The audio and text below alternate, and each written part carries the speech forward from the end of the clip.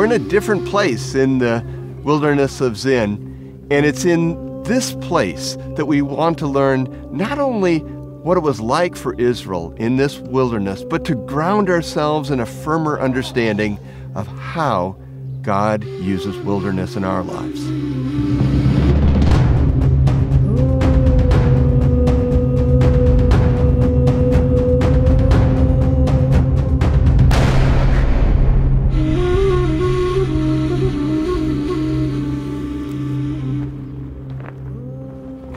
What the Bible called the wilderness of Zin. Now, wilderness areas, by definition, don't have firm boundaries, but generally speaking, the wilderness of Zin extends from Kadesh Barnea here all the way north to the biblical Negev about here. You and I are positioned right here at Ein Avdat, just about dead square in the middle of that wilderness area. Uh, we've come here because this area houses what is both the longest of the wilderness stories in the Bible and the most surprising.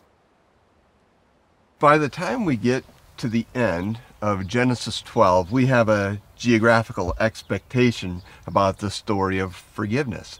That God had come to Abram and told him not only that his family would produce the Savior of the world, but that story that would involve his family would occur in the land of Canaan. So it's terribly surprising by the time we get to the end of Genesis to find God's people not in the promised land but in Egypt, where they stayed for 400 years. That's pretty surprising.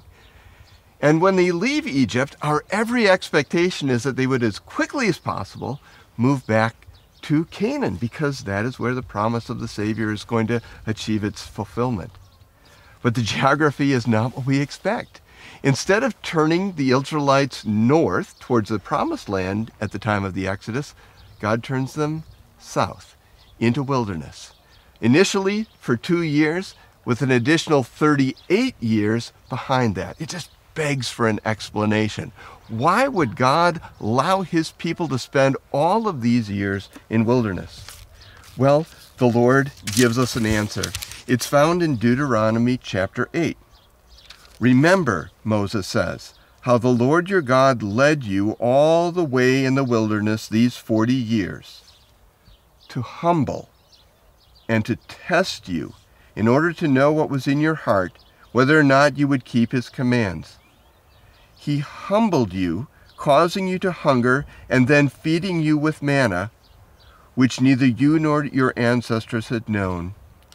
And he did this to teach you that man does not live on bread alone, but on every word that comes from the mouth of the Lord. We are here to think about the answer to the question how does God use wilderness? He uses it to humble us, to test us, and to teach us. Those three purposes come into play virtually every time we meet a wilderness story in the Bible.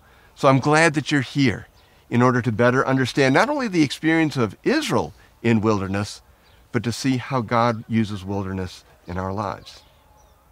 As I read the scriptures, one thing becomes absolutely clear to me God hates arrogance.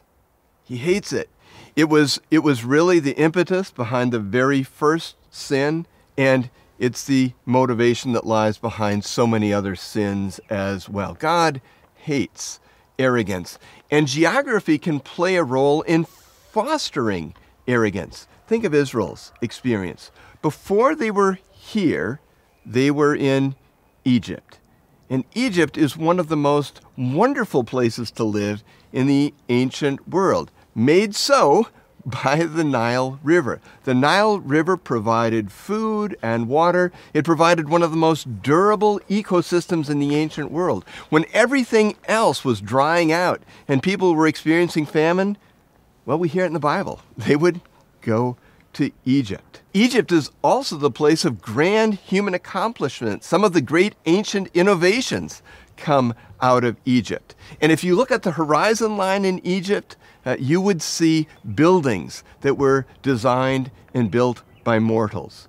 Uh, Egypt celebrates and encourages even arrogance.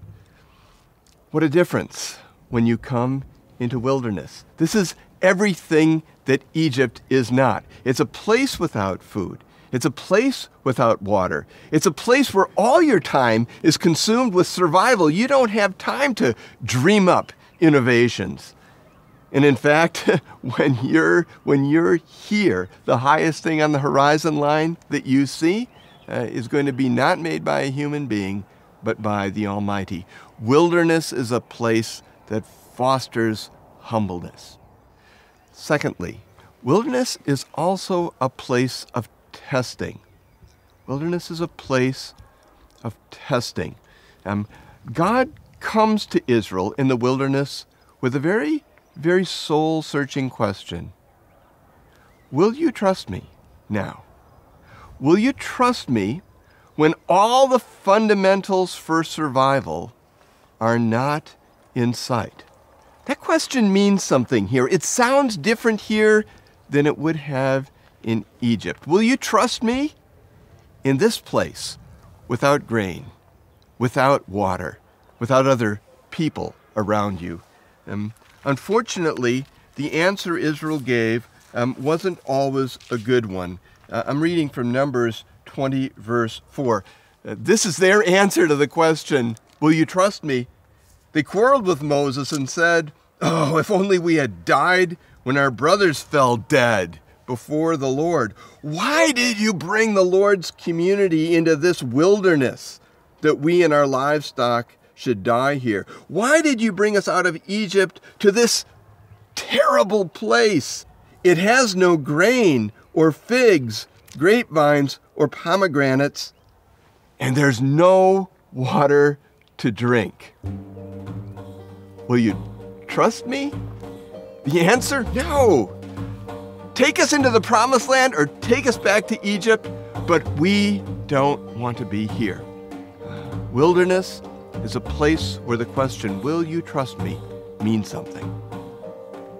Well, those are the first two things that wilderness can do for us it humbles us and it tests us. I'd like to hike down the trail just a little bit farther to illustrate the way in which God uses wilderness to teach us.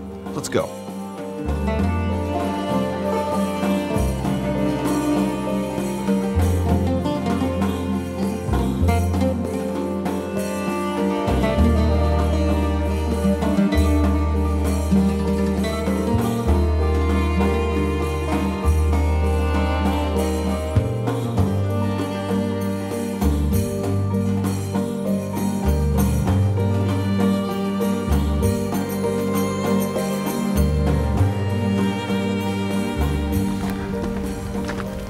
Ready to drop your packs for a minute?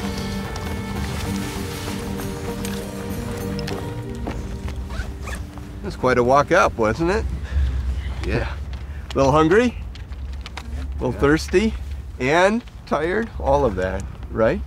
Well, good. You know, uh, that was my plan.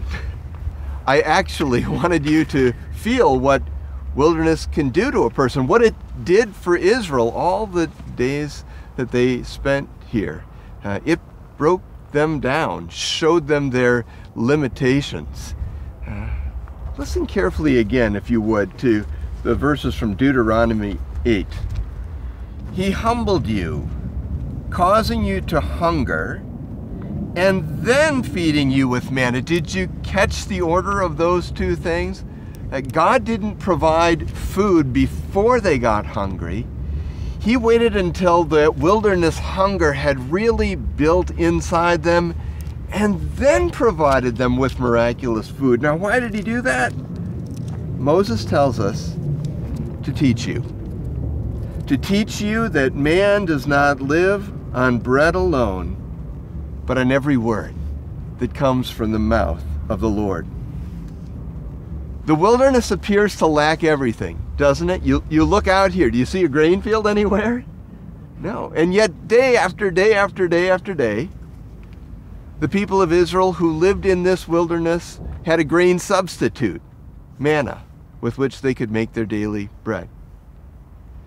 Wilderness is a place not without water, but with precious little water. You saw some of it in the canyon we hiked, right?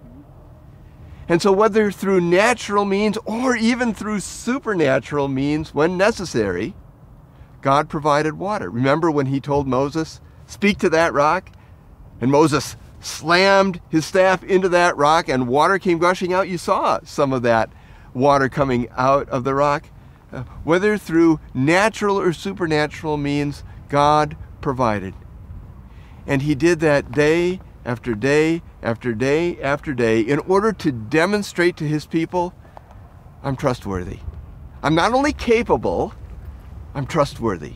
You can look to me and you can count on the fact that I'm going to be there for you. That's a lesson best learned in wilderness. Now, in our season of wilderness, when it comes in our lives, we may react in the same way that Israel did. We may say to the Lord, Why are you doing this to me? And we may say, Lord, I'm tired of this. I want to go back to Egypt. I want to go back where I don't have to worry about eating this crummy bread that's on the ground. I want to go back where I don't have to worry about a water supply. I'm done with wilderness. Take me back to Egypt. We can get angry. We can get frustrated. Uh, we can become bitter, uh, even dejected about wilderness. And I don't want to simplify this. Oh, I so don't want to simplify this because everyone's wilderness experience, no matter what precipitates it in their life, is unique. And there's more than a simple answer to why the Lord may be allowing that experience into their lives. But for sure, for sure, I believe that Deuteronomy 8 helps us understand wilderness in our lives as it was meant to help us understand why God allowed wilderness experience in the life of Israel for all the years that he did.